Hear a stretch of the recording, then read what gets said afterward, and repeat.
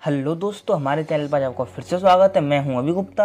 आज मैं आपको बताने वाला हूँ ग्वालियर की तो सबसे अच्छी जगहों के बारे में, जो कि मध्य प्रदेश में स्थित है। तो चलिए स्टार्ट करते हैं। Number ten samadhi of Rani Lakshmibai. Rani Lakshmibai की समाधि, झांसी की रानी लक्ष्मीबाई के सम्मान में बनाई गई थी। समाधि के अलावा, यहाँ पर रानी लक्ष्मीबाई की आठ मीटर ऊँची मूर्ति भी बनी हुई है। रानी लक्ष्मीबाई की समाधि और मूर्ति दोनों ही ग्वालियर के प्रसिद्ध आकर्षणों में से एक हैं। महारानी लक्ष्मीबाई के सम्मान में हर साल जून में यहाँ पर मेला लगता है। जिसे देखने काफ़ी पर्यटक आते हैं। नंबर नाइन, तानसेन का मकबरा। तानसेन भारत के महान संगीतकारों में से एक थे। तानसेन अकबर के दरबार के नौ रत्नों में से एक माने जाते थे। तानसेन का मकबरा मध्य प्रदेश के ग्वालियर में स्थित है। यहीं पास में ही मोहम्मद गौश का भी मकबरा है, जो कि तानसेन के गुरु थे। यह मकबरा वास्तुकला का एक सुंदर उदाहरण है। यहाँ पर हर साल नवंबर में तानसेन संगीत समारोह का भी आयोजन किया जाता है, जहाँ पर्यटकों की भारी भी देखने को मिल सकती है। अगर आप लोगों ने अभी तक इस चैनल को सब्सक्राइब नहीं किया है तो चैनल को सब्सक्राइब करें और साथ ही बेल आइकन को प्रेस करें। चलिए चलते हैं नेक्स्ट नंबर की ओर। नंबर एट तेली मंदिर को नौवीं शताब्दी में बनाया गया था।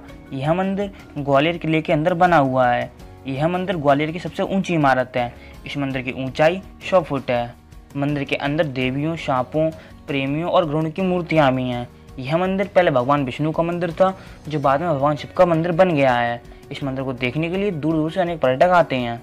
नंबर सेवन, सन टेंपल सूर्य मंदिर ग्वालियर के सबसे शानदार मंदिरों में से एक है। जैसा कि इसके नाम से ही पता लग रहा है, यह मंदिर भगवान सूर्य को समर्पित है।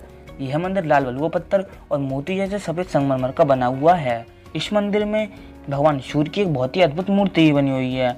यह सूर्य मंदिर बड़ी संख्या में पर्यटकों और भक्तों को अपनी ओर आकर्षित करता है। नंबर सिक्स, ग्वालियर जू। जंगली जानवरों को देखने के शौकीन लोगों के लिए ये बेहद ही अच्छा स्थान है। यहाँ आपको देखने के लिए बाइसन लगड़बग्गा हिरन, सफ़ेद बाघ आदि जानवर मिल जाएँगे। इस यू को फूल बाग के नाम से भी जाना जाता है। Number five, gurudwara Shri Databandi Chhor Sahib. यह गुरुद्वारा छठे सिख गुरु हरगोबिंद साहब की स्मारक है, जहांगीर ने यहाँ पर गुरु हरगोबिंद साहब को कैद करके रखा था। इस गुरुद्वारे को गुरु हरगोबिंद सिंह की याद में 1970 में बनवाया गया था। यह खूबसूरत गुरुद्वारा पूरे देश के सिक्कों को अपनी ओर आकर्षित करता है। Number four Sasbahu temple Sasbahu मंदिर को नौवीं शताब्दी में मध्य प्रदेश के ग्वालियर में बनवाया गया था। यहाँ पर सास बहू का मतलब सासू माँ और बहू से नहीं है, बल्कि इसका नाम सास बहू, भगवान विष्णु के एक नाम शास्त्री बहू के नाम पर पड़ा था। यह मंदिर भगवान विष्णु को समर्पित है। यह मंदिर शानदार मूर्तिकला का अद्भुत नमूना है। इस मंदिर को देखने के लिए दूर दूर से अनेक पर्यटक आते हैं। नंबर थ्री, गुजारी महल आर्कोलॉजिकल म्यूज़ियम। गुजारी महल को पंद्रहवीं शताब्दी में राजा मान सिंह ने अपनी पत्नी मृग नयनी के लिए बनवाया था। गुजारी महल अब एक खंडर है और एक म्यूज़ियम भी है, क्योंकि यहाँ पर पहली और दूसरी शताब्दी के पहले की भी मूर्तियाँ तथा अन्य चीज़ों का संग्रह है। इस महल में मूल्यवान पत्थर, रत्न, हथियार, पेंटिंग्स आदि चीज़ें दिखाई गई हैं।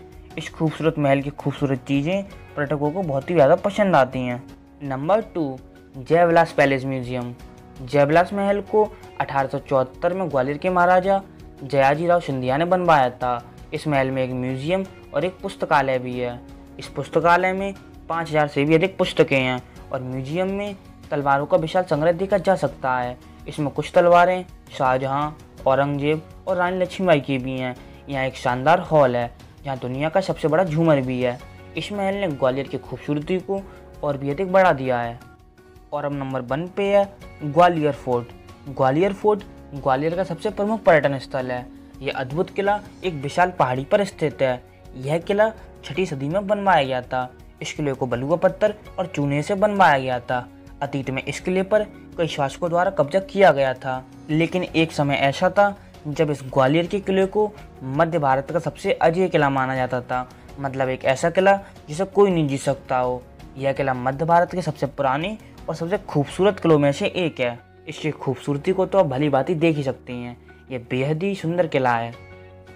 अगर आपको वीडियो पसंद आई हो तो इस वीडियो को लाइक करें और इसी तरह की टूरिज़्म प्लेस की वीडियो पाने के लिए हमारे चैनल को सब्सक्राइब करें। Thank you for watching my video.